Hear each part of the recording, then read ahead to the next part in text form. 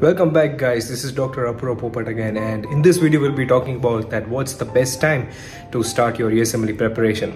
So let's say you enter your first year of medical school, uh, it's very important to get oriented to various basic terminologies in your first year of medical school like what's aorta what's aortic dissection atherosclerosis arteriosclerosis. So at least like first six months of your medical school you get oriented to basic terminologies of what's going like what's happening in various organ systems. And as soon as you enter your second year of medical school i think that's the perfect time to start your USMLE step one preparation. And you only become to uh, you, you only become eligible to give your USMLE step one after you pass your second year of medical school. So you can start your preparation of your step one right from the beginning of your second year of medical school and give off your step one examination by third first okay? So this is the basic timeline which i usually recommend to the students who are just beginning their medical school that start your uh, usmle preparation uh, as soon as you enter your uh, second year of medical school.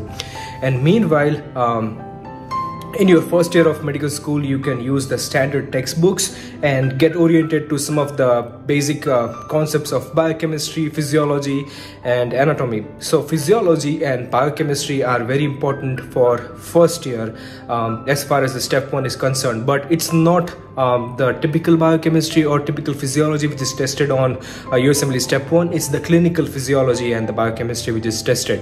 So while you are uh, you know studying biochemistry and physiology in your first year you can just um, you know read try to read through and try to gain um, you know how uh, you know step one will test the physiology and the biochemistry concepts so if you just uh, go back to my app and try to you know uh, look at the sample videos of biochemistry you'll come to know that how they clinically correlate some vitamin deficiency maybe some krebs cycle context.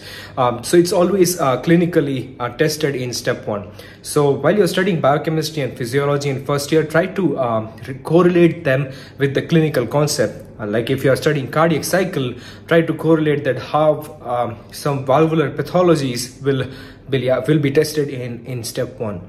So that's what you can do in your first year. And after you have gained the basic foundation of physiology so unless you understand the normal stuff, unless you understand the normal cardiac cycle, you cannot tell like what's going to happen in mitral stenosis or maybe aortic regurgitation. So your physiology has to be very strong. So they always say that like three subjects are very important for, for step one.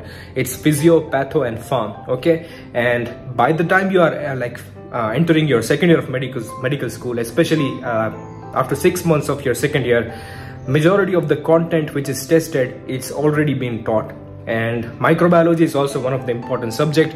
But the only thing i would say while you're in your second year of medical school try to correlate the content which is uh, you know in context to the clinical scenarios.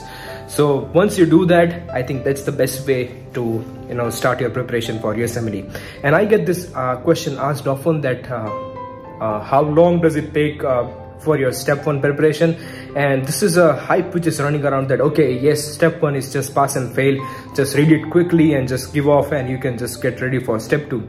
But uh, one thing is very important that unless you master your step one basic con like concepts you'll have to pay the same attention and spare your same time if you just skip that skip those things in step one you might have to go back and look those things again while you're studying for step two. So you cannot ignore step one. No doubt it's pass and fail but pay equal attention to each and every detail because if you miss it now you might have to revisit the things again in step two. So ideally the best time to begin again is the second first uh, you can just uh, read it for entire year prepare it watch videos do ul questions and finally give your give your step one examination by third first. And you can later on give your step two examination after finishing your final year of uh, medical school. That's probably in the internship or probably after the internship. So this is the best timeline if you're just um, getting uh, getting to know about USMLE step one and if you are just planning your timeline that's how you can organize everything from step one to step two um, planning your match cycle and observerships and finally getting matched in the March. Thank you so much for watching this video and if you have any questions about how you should go about step one, please feel free to drop a comment and there's an app in the Play Store that's USMLE Strike. We have just released uh, the Q banks, the notes, and the various video uh, on-demand video library. And we also run a live USMLE Step 1 course. So if you just want to know about that, we have link in the description below where you can download the app in Play Store and the iOS. Um, So thank you so much for being here. Thank you so much.